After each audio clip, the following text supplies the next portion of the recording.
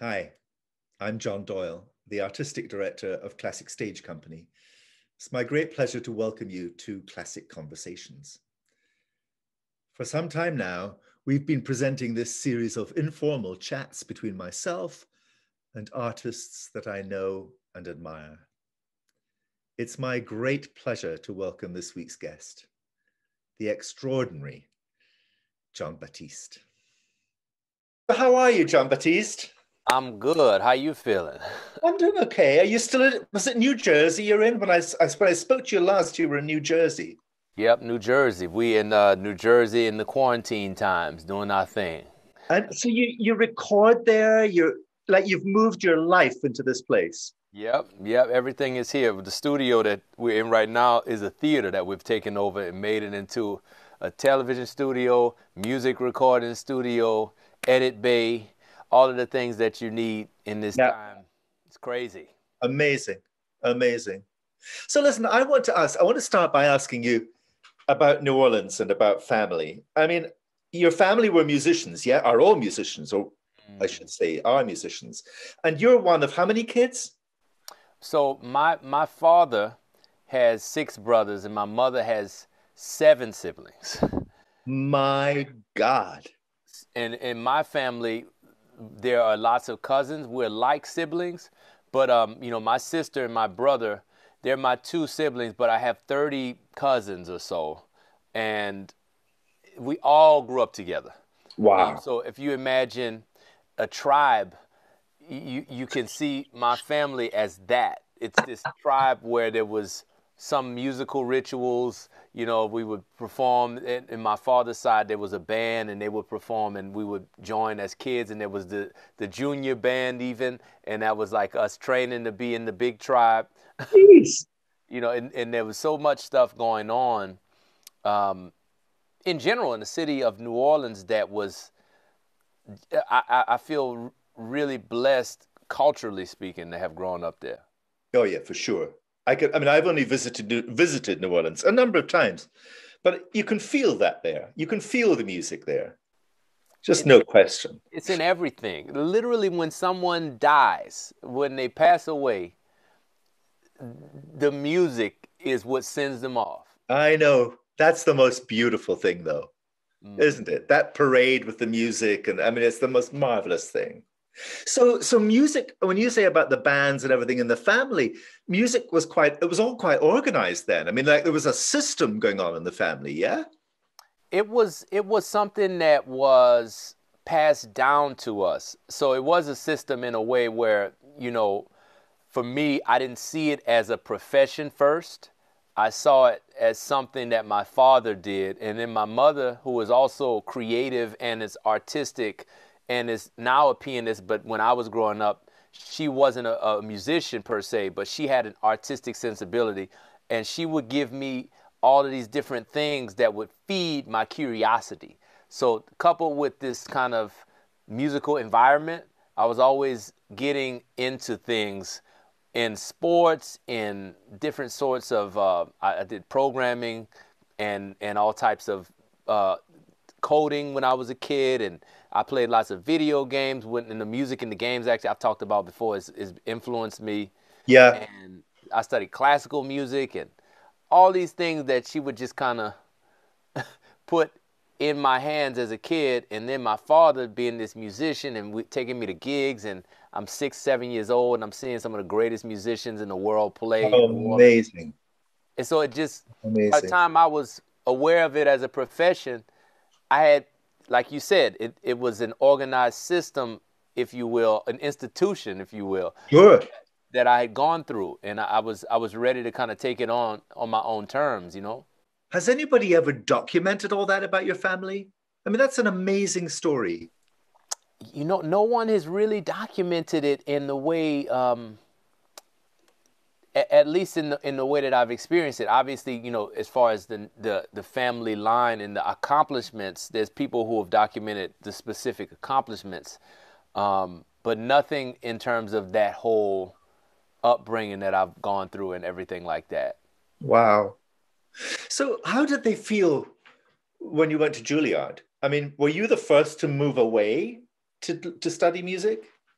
You know, I was the first. My my uncle Paul was the first to study music formally in college and get and get that kind of um, degree for music. You know, my father also studied and and um, and um, that was a, a, milestone. But then for our generation, taking it that step further was a was, everybody was very proud. The idea that I would go to New York City, and I was the only one to go, but I think that everybody supported that.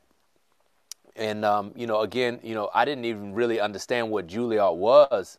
My mother was the one who kind of just put that in my my sight because I was in this I was in school at the New Orleans Center for the Creative Arts and also at St. Augustine High School, which is this very heavy academic all boys school tailored towards really uplifting black males in New Orleans. And wow. wow. Had, I was there half of the day and then the other half of the day I was in the art school which is, you know, the school where you have dance, music, drama, visual arts, digital media arts, all of these. It was like a college level charter school. Um, so I would be in school from 7 a.m. to 7 p.m. and then I'll play shows at night. And by the time I was 16, I'd graduated early. And my mother, 16, 17 years old, she was like, "You should keep going with that." So yeah. everybody was really, they could see that there needed to be some elevation that happens yeah. That's when I seen your show. You know, when, when I saw Sweeney Todd, I, I saw um it's 05, I believe it was. Yeah. 05, 06. Yeah. So that was a part of my initiation of coming to New York and going to Broadway and going to see all of the things that yeah.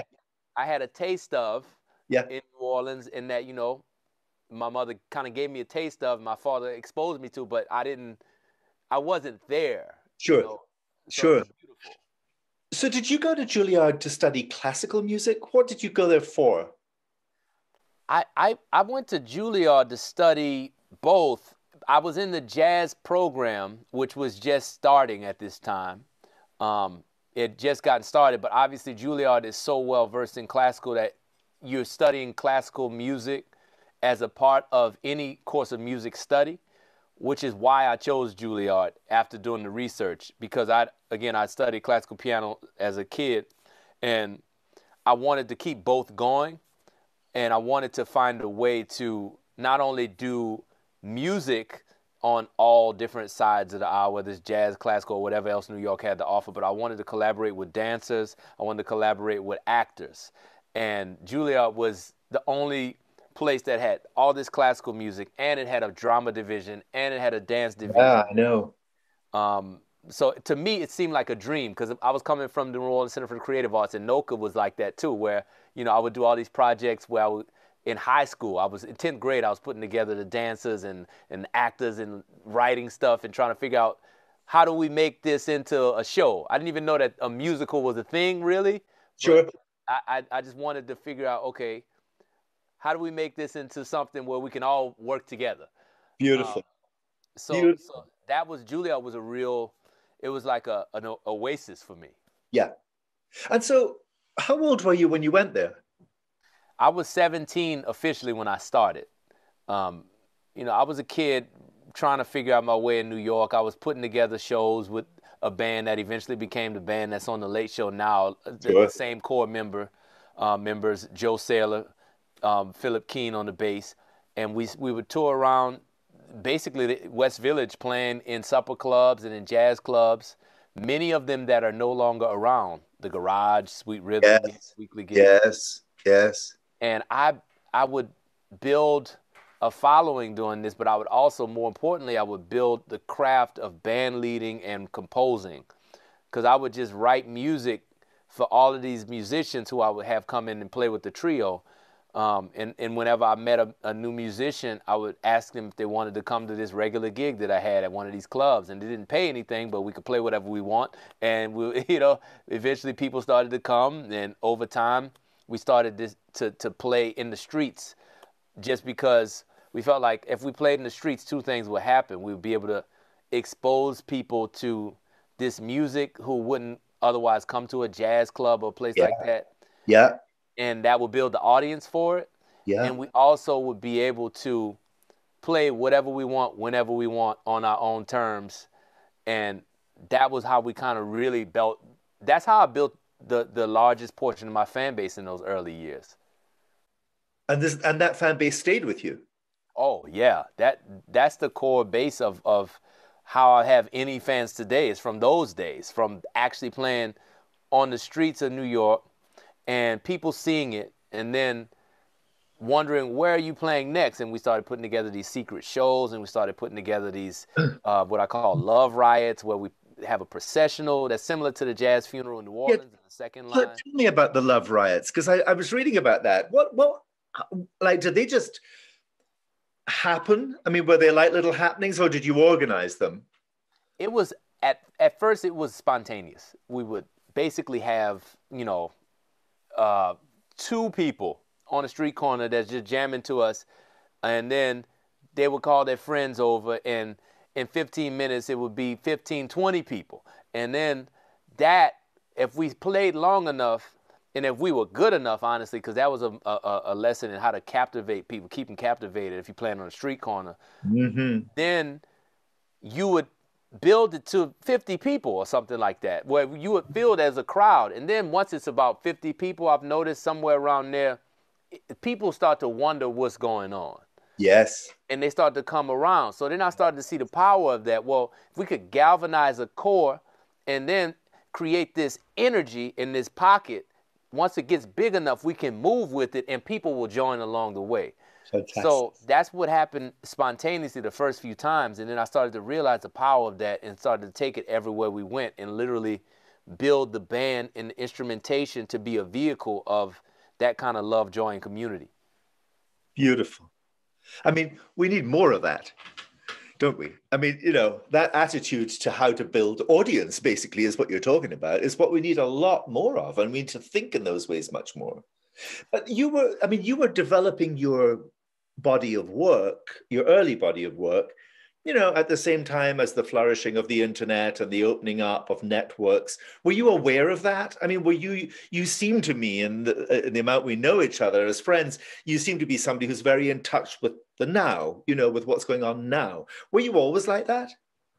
I was, I was very, very interested in, you know, my father, as well as being a musician, is an incredible tech minded artistic minded person. The blend of those two is always fascinating to me because he's even more so that way than I am, which is where he can look at something and understand the technicality of how it's put together, whether it's a computer, an iPad. He can look at any device and take it apart, put it back together, and understand the technicalities of that. But he's also an artist. And I feel that I'm more of an artist, but I have that gene from him of yeah. you know, trying to figure out how do I connect with what's happening today. And being in the bridge generation of, you know, when I was 13, 14, Napster happened and yeah. streaming happened. Yes. all of this. I remember downloading all of this music. And now we're thoroughly embedded in the information age. But I, I feel like we, it was just burgeoning when I was a teenager coming of age. So that genetic kind of imprint from my father, coupled with this time where I was coming of age, it was really a benefit to me in building an audience and understanding what, you know, the people who are over here, what are their experiences like and how do they relate to this? And then the people who are coming up and this is the way that they have connected. Oh, I understand that as well because I remember when that happened. Um, and, and, and I've always tried to uh, keep up with everything that's happening technologically and in terms of how it advances. Um, but but it's really a natural thing for me. I don't feel like it's forced to to try to look in that direction. No, I get it. I get it, and I think also that the almost, if you like, scientific mathematical mind that can uh, look at that world is also the mind of a classical pianist. I mean, shapes and forms and i mean they link don't they? They're not separate things. It's the mind is working in a mathematical way when it's working a, a, a passionate mathematical way when it's working a keyboard. Yes yes. you know? uh, because what you've so you're doing you're driving a car in a multitudes of ways all when you're actually at that at those keys. Um so it seems to me a couple of things really. First of all, you've had a wonderful, wonderful success, deservedly so. Congratulations on the nominations and you know all it's marvelous. Yes, yes. But it doesn't seem to well, A, the lovely thing about you is it doesn't seem to affect you. You st- you seem to stay the same person. And also you've had, you know, you're still a, a young man. So like the whole Colbert thing, you know, you've had exposure in a big way in this moment in time. How does that all feel? Mm, wow, John, it's it's. I mean, you've you've been there. It's like a. As an artist, I feel it's not. I'm thankful for it. Thank God. Thank every, every everybody who made it possible for me to be here. But at the same time, I I feel that it's not. The creation of the art, the creation of the music. The music happens in the moment a lot of times for me. It happens when I'm in this. It's it's the culmination of so many thoughts and inspirations and study and all this stuff, and then it happens in a moment. Yeah. And it's out there. And once it happens, you you with success, what you end up doing is spending a year or more talking about the thing that already happened and not creating a new thing. Yeah. We have a limited time to create because that's life. And and I just feel that as much as I think is important, and it's just as important to create as it is to talk about. That's why I think music conversation, like what we're doing, and art conversation, and journalism, and all the ways that people write, even liner notes and and, and, and mythologize creative creative output is important. Um, but I, I'm more interested in the creative process than I am in now let's talk about it. Let let me tell you about what happened. Let yeah. me accept the yeah. acknowledgement of it. I mean, yeah. I, I, I should probably be better about wanting to accept the acknowledgement of it, but it's more for me. Let's go to the next. I know. I get. I totally understand. It's like when movie actors who who may spend you know three or four weeks shooting a movie and then have to spend three or four months talking to the press about it. Yeah, you know, you think I want to do the next movie. I don't want to be doing this press tour. I get it. I completely get it. But you, it seems to me, two things again that one, I mean, I've been with you, we've been in meetings together about projects, and you, you, I can tell there's music going on in your head many moments of the day because often halfway through a conversation, you start humming a tune, like it's conjuring out of something. Has that always been the case? I found that it was my way to deal with the social anxiety that I feel sometimes as um, an introverted person. When I was young, I was very introverted. I remember they would say to me that I don't, I didn't even talk till I was about 10 years old or something. I was just very quiet.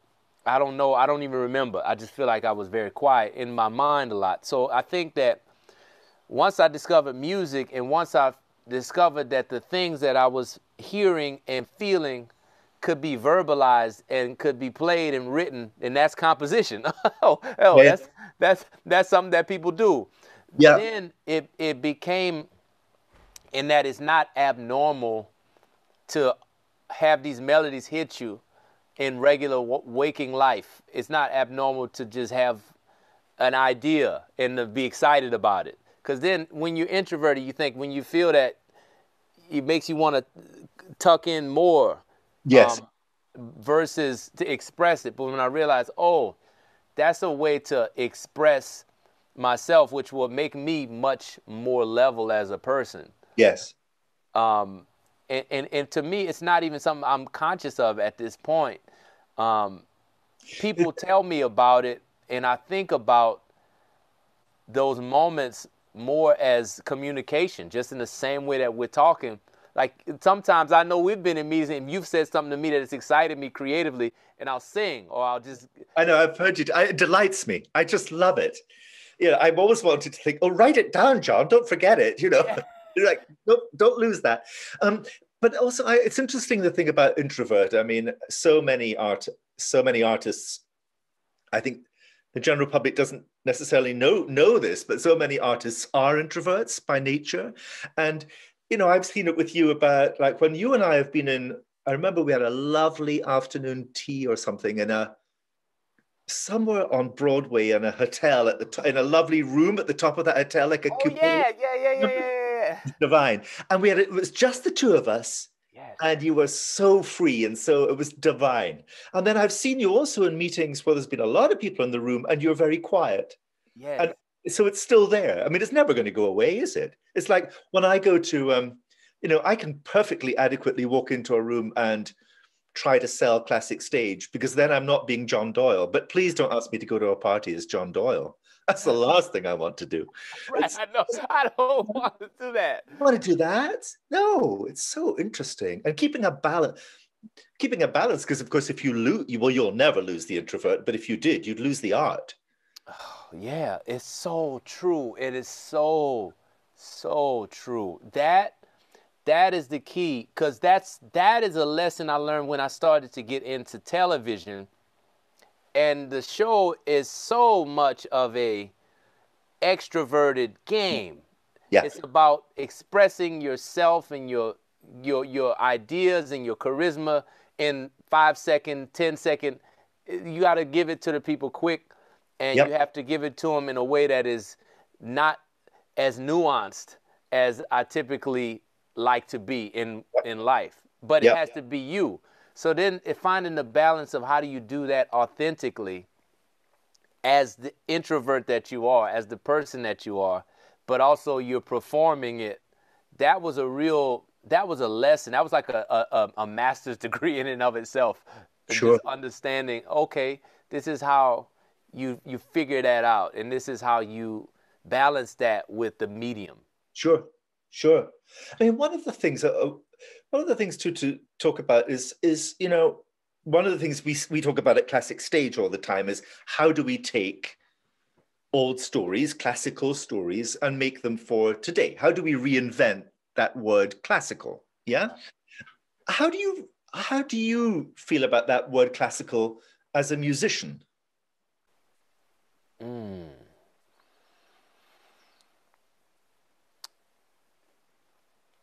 Wow. So classical is an interesting word because it taps into it's an iconoclastic word. Mhm, It's, it it says it mhm, and this is the standard.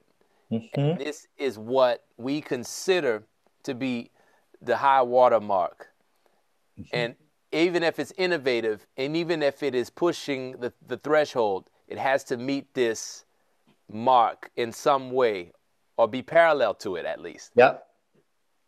And that is in, in particular with the conversation that we're having in culture around the the ownership and even the appropriation of different ideas and cultures and, and how that relates to who plays what role or who can say what what in a song or who can dance to what and how they how they can dance it's really interesting to then deem something as classic I or know. classical um, I know.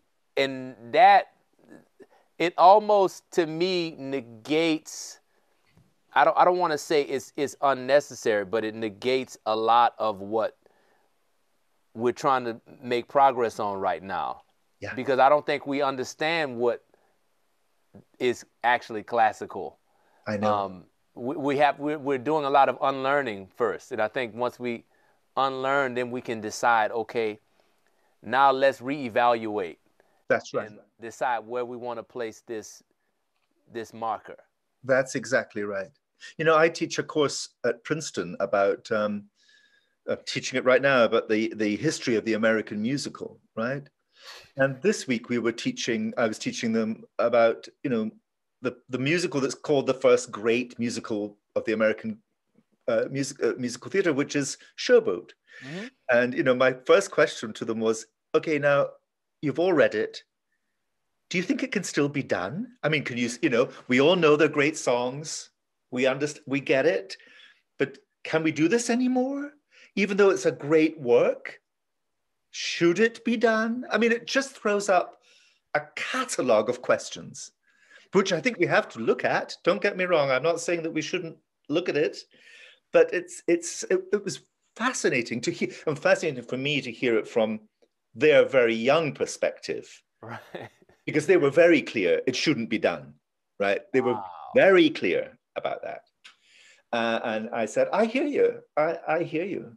Uh, and there are themes in it that maybe aren't appropriate anymore. But however, to, uh, to look at what classical means, you have to at least know what history is. You have to know where, you have to know why it happened. You have to know that in its time it was shocking. It's not shocking now, but it was shocking then. It, it, it thumped people in the chest as they watched it for the first time in 1927. So we have to acknowledge that and value that, even if we don't continue to promote that, if you like. Right. We have to know it. That's right. We have to know it. it, it it's it's it's it's akin to not knowing who who where you come from. That's right. Who, who are your grandparents? or just something you you can't go forward without knowing where it's been, even if where it's been is problematic. That's right. But in all the work that you, I mean, I, I, I think about you sometimes. I think of all the things you do, and I think does he sleep? I mean, like, it, it, it's kind of incredible. And I know you have a good support system to help you get through that. But I mean, for example, in your work at, um, at the National Jazz Museum, mm-hmm. right, in Harlem, tell me about what that involves for you. I mean, I, I don't mean on a day to day basis necessarily, but what are you cre- what are you curating there? And how does that word museum fit in with the word jazz? Does that question make sense john? Yes yes. I i, I feel jazz is really a, a, complex thing because you can chart the the development of jazz music and understand the history of america and thus you can understand so much about the culture just by looking at the way that jazz happened and how it unfolded over time. It was the first thing to be desegregated. Yes. You know, jazz music. There's so much about the history of who we are in our mythology that if you study jazz, it it it, just unfolds um, in parallel and sometimes precedes it. Um, but that's why I feel like it can be in a museum because it's something that should be looked back upon as a, a collective of our wisdom. It's a time capsule of our wisdom, and yeah. and, and and and it should be studied. Yeah. But at the same time, it's a living and breathing art form, arguably the most modern art form, if you want to use the word modern, because it's literally happening as you listen to it. Nothing is more modern than the present moment. It's it's it's being created and can accommodate anything in any moment at any time, and it's happening right in front of you. So my goal was really to kind of balance those two. it's it's on an axis, and, and these axes yeah. are, are really about the museum having things that people can engage in that show them the history. There's a great collection. There's the Savory collection, um, which has so many unheard recordings and collaborations hundreds of hours of them. There's wow. there's Duke Ellington's piano. There's things like that that are there. But then there are also talks, multi generational gatherings of musicians, non musicians, journalists, all of the different people in the music community and beyond. Their performances. There are so many ways of showing what's happening on a daily basis and people experiencing the music at the same time and I just kind of oversee that and give input in that. And in the earlier years, I was actually one of the practitioners of this program called Jazz is Now, where I would bring in musicians to talk. It was like a TED talk and a performance put together. Uh-huh. Uh-huh. And um, you know, we had Chad Smith from the Red Hot Chili Peppers join my band, and Lenny Kravitz, and wow, artist Jr. Um, yes. That I mean, just a range of different to show. Look, this can happen with jazz and it can wow. be thoroughly modern. Thoroughly modern. Yeah. I, going back to that course that I teach, I, the first class of that course, the first week, I, I show them images of Greek vases, you know, Greek. Yes. And of course, if you look at all of them, uh, well, the paintings that are around them there are always musicians in those paintings, right? Going mm-hmm. all the way back to 2000 years BC. There are always musicians. And it's like it's been in, we think we invented popular music. It's always been popular. It's always been necessary. Don't you think?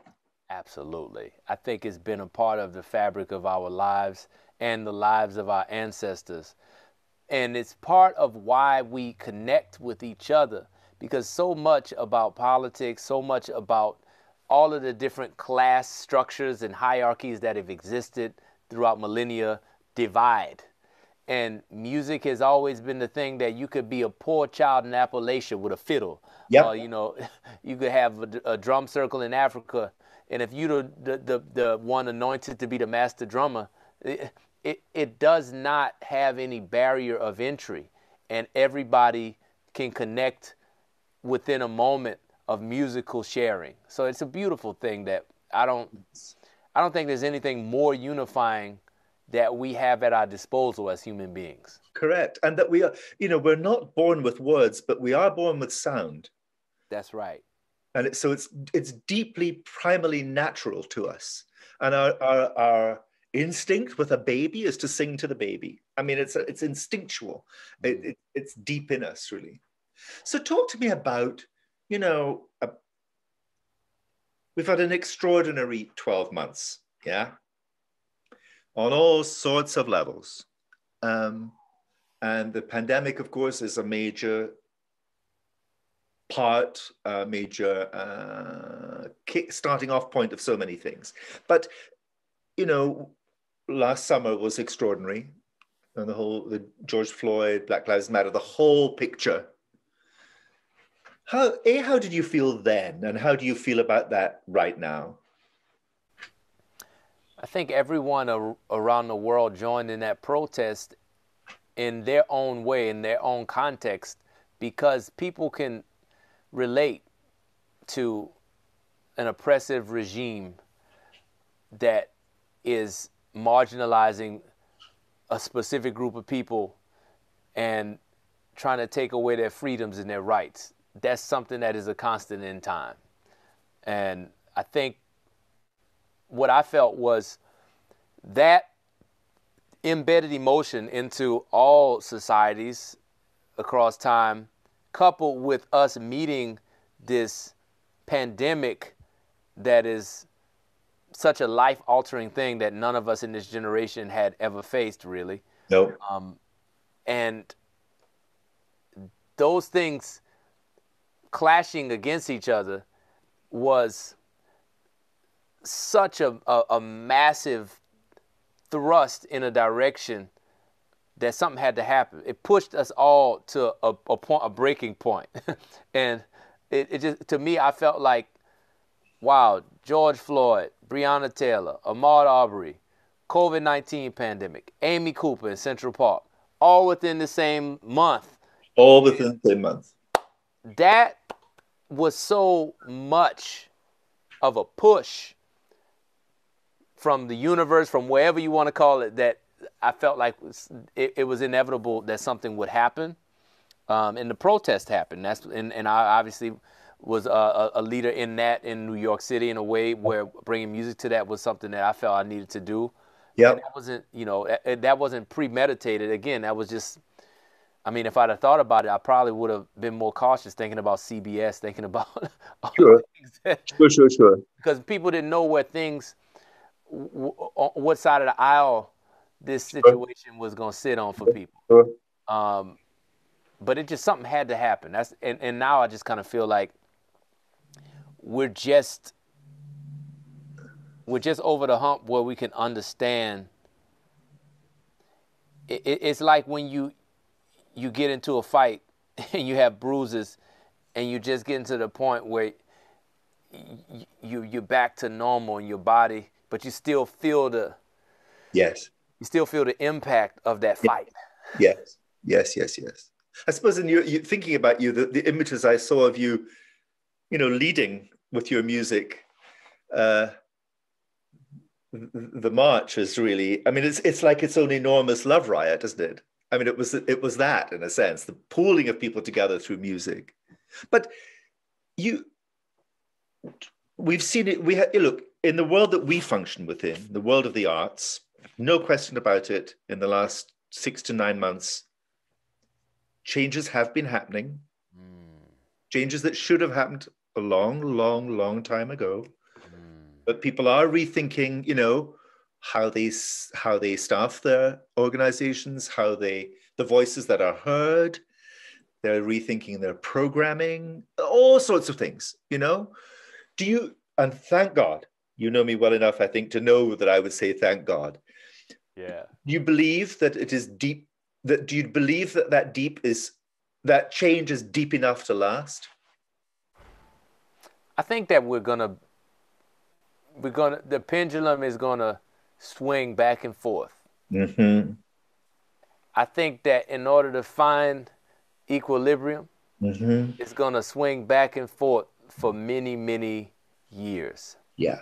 I think we're gonna go through a phase where people are conscious of this and then people will inevitably forget and then something will happen societally to thrust us into another reactive moment and then it's going to swing back again and then i think that process will continue to happen and what it, what what generally happens is things either self-regulate or empires fall. And what happens is then there's a greater self-regulation which is a new empire emerges. That's right. Um, and and and that's just something that you you can see throughout history. I do think this is a historic moment in terms of the opportunity for us to connect and to unlearn at such a rapid pace. You know, the concept of singularity. You know, Ray Kurzweil talks about this idea where we're going to merge in the, it, it, it, the exponential development of our knowledge and the speed of technology's development is going to continue until we become one. Yeah. And I do believe in that to a certain degree because this time, what makes it different to any other age in history where we've gone through this period of self regulation is that we have so much advancement technologically and so much connectivity across cultures where Black Lives Matter protests happening in Egypt as I'm marching in Union Square. I know. That has never Ever. happened in the history of the never. world. So that's the only caveat that I would offer. You know, it. It may be a time where it's actually um, a, a, a cataclysmic change. Yes. Um, but I, I, it's too soon to say if that is I, what it will be. I agree. I've asked, I, we'll finish in a moment, but I've asked you lots of things. Do you want to ask me anything? Absolutely. I, what is your, there's so much, and I'm, that's why I'm glad we're working together, because what is it that when you're making a musical or when you're trying to understand a musical, uh, and when I say understand, I mean um, the anatomy of the form. What is there and what is the choice of the creative team? Like what doesn't have to be there, but because there's a lot of things like that in music where mm-hmm. there's you know there's the base of the house and there's the roof, and mm-hmm. then how you, what you put in between mm-hmm. is kind of your choice. What's yeah. You know, I mean, I think for me about um, about musical theater, I don't even like the phrase actually musical theater because I just think why isn't all theatre music and why isn't all music theatre? I, you know, to me, it's an odd compartmenting of a for of a of a sort of type of form. But what interests me about it more than anything really is what makes human beings sing. You know, what what is it about the human spirit? Mm. That can only express itself through song. Now, when I say song in real life, not everybody's walking around singing the hills are alive with the sound of music but but people say special you know people say special things you can meet very ordinary people in, who you don't know in a in a supermarket or whatever in a store and they will somebody strange a stranger will say something extraordinary to you for whatever reason and to me that's a song and so I'm interested in how do we, how does music theatre, and I prefer the word music theatre to musical theatre, mm-hmm. because musical theatre suggests a bit song and dance. And also, it suggests a little bit too much pleasing for my taste, right? You know, oh, if we do this and we do this, it equals this, and you get a badoing, right? Right. Or she's got to have a money note. What does money note mean? It means a long note that gets her the next job. You know, I mean, like it's not, or makes them buy tickets to hear it again. I'm not really interested in that. You've seen enough of my work to know that I'm interested in human beings and what makes a human being tick. And so I, I do think the creation of a musical is a fascinating thing they you know is it sometimes some, one of them says you know it's never finished. Like they're never done. You just have to leave them eventually. Because you the interesting thing about a musical is that you could go on and on and on making it and and, and refining it and finding it. And how uh, book writing we've talked about this. Book writing to me is a big essence in the musical because the architecture of the story tells the composer what they need to write or what they're missing. It's a fascinating puzzle. Again, talking about Sondheim, it's not by chance, I don't think, that he's fascinated by the puzzle. You know, mm. many people have written about that. The kind of minds that put together cubes that make something actually work. But then that's the same as classical music. It's the same notion, really. You know, I'm also fascinated by okay, why is and we should never forget this, you know, something that they got so right in some of the early great musicals of the golden age was they would sing a song in the first act right. which they would reprise maybe in the minor key with a different time structure in the second act. Yep, yep, yep. yep. And, and you knew it by then. So you take, as an audience, so you're taking a recognition journey with the music into the next time it's used, which emotionally makes you pay off. And you, as an audience member, think that you've done the work.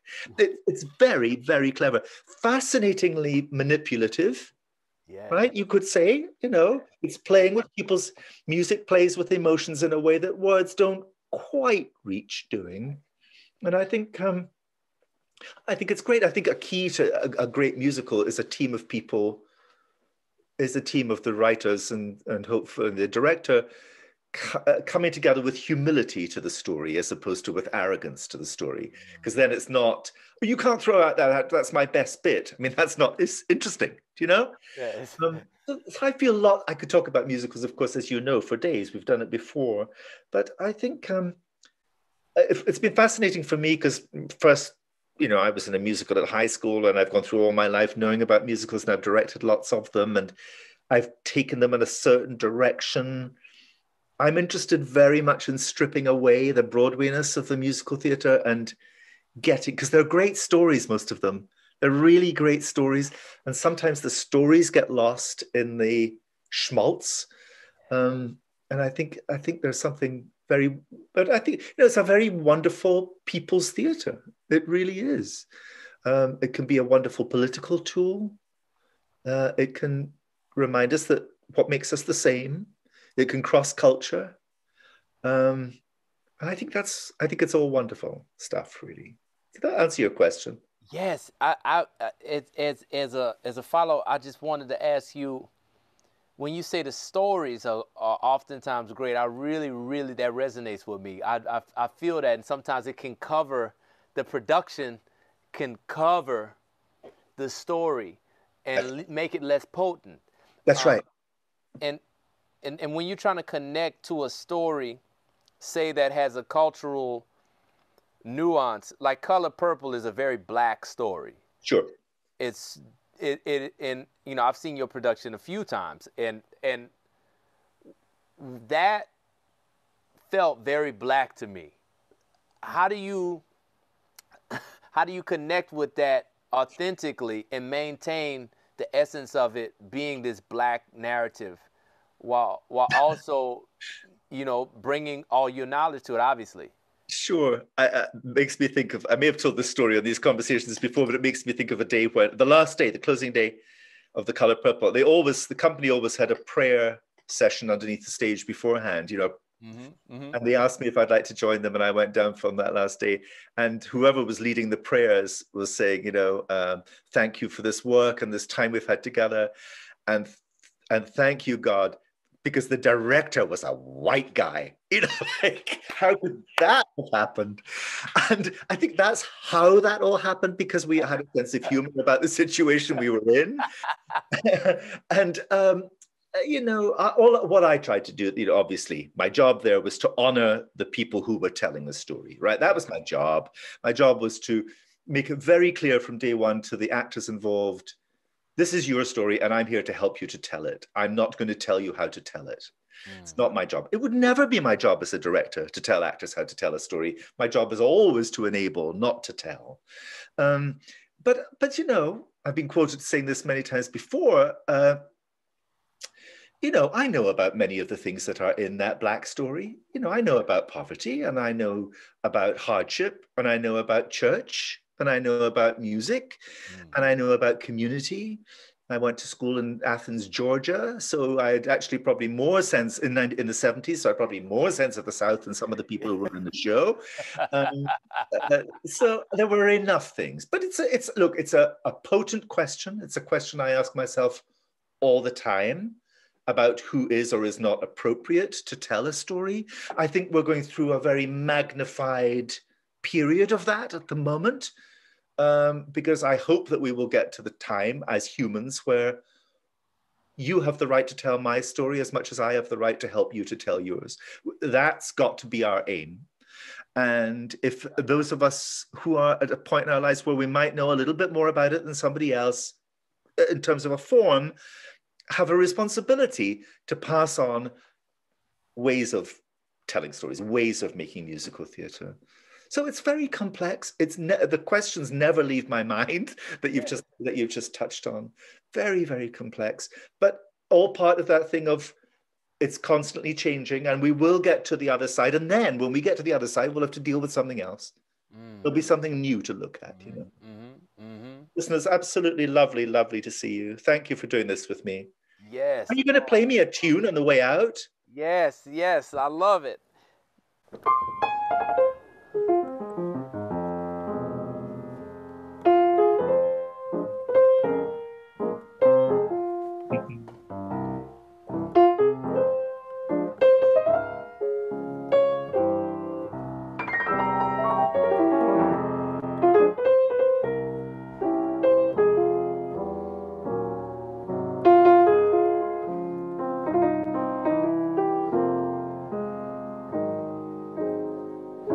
Down to St. James Infirmary and saw my baby there, stretched out on a long white table, yeah, so sweet, so calm, so fair. Let her go, let her go God bless her. Wherever she may be, oh, she can search this wide world over, yeah. But she'll never ever find another sharp dressing, piano playing man like me. God bless, Jon. Thank you very much. See you again soon. Yes. Bye. I hope you enjoyed that just as much as I did. And I also hope that you'll join us on April the 15th for another special event entitled Tell the Story, celebrating Stephen Sondheim and John Weidman's Assassins. This free virtual event will explore the legacy of the musical Assassins through conversations and performances featuring the cast of our forthcoming production, as well as company members from the original 1990 production and the 2004 Broadway production. There will also be many other special guests and a conversation between Stephen Sondheim and John Weidman. So please join us on April the 15th you can find out more information and register to watch for free at classicstage.org slash tell the story.